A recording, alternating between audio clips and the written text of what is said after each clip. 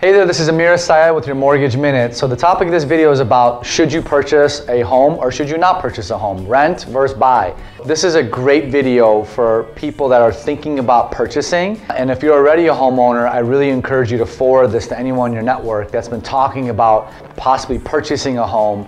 Some of the pros and cons, it's important for me to really explain this for people to understand, okay, I'm at this point in my life and I'm renting and should I purchase? So pros first off is, you know, as rents increase, when you have a fixed rate mortgage, your payments are set. It's going to be uh, immune to some of the gyrations that happen uh, as far as your landlord possibly increasing your rent. You know, I hear a lot of renters saying, Amir, we want to purchase, my landlord just increased my rent five or six hundred dollars, or we know it's coming.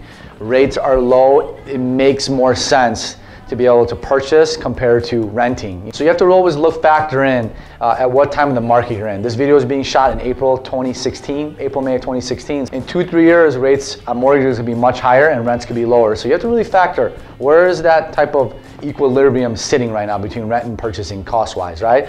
The other thing as far as pros, there is still the mortgage interest deduction. So the government basically allows you to deduct your interest in terms of what you pay on the mortgage towards your taxes. So of course, a consultant, accountant, a CPA to give you that advice. Some of the other pros is that you build equity, of course, very straightforward. I know a gal that's been renting for 18 years the same apartment.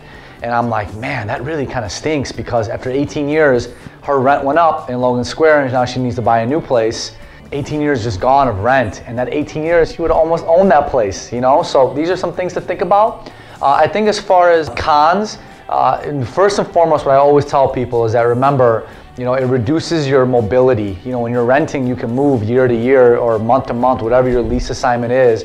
But when you purchase, there's a chance you may not be able to sell right away. Sometimes the market turn, times for selling a property could be 90 days, 120 days whatever it might be. So it's not quick. Okay, so you have to really think about that. I always recommend to be in the home at least three years. Anything less than that may not make sense because of costs. It's the other con.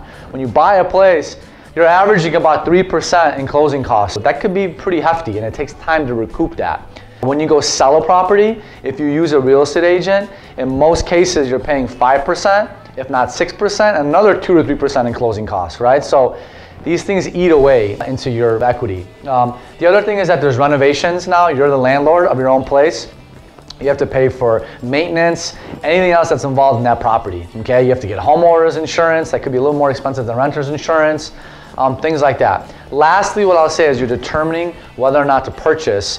You know, you really want to make sure you take your gross monthly income, get that number. Let's say it's $5,000 a month before tax and whatever your outgoing mortgage payment is, including everything, assessments if you're buying a condo or townhome, property taxes, the homeowner's insurance, the PMI if you're putting less than 20% down, that total payment, in my opinion, should not be more than about 28% of that $5,000, okay? So it's called a debt to income ratio. You want to make sure your housing expenses are not more than 28% of what you're making monthly. That's a really good rule of thumb. So that's how to kind of go through this. Hope it was helpful. Ask a lot of questions, ask the right people, ask other homeowners.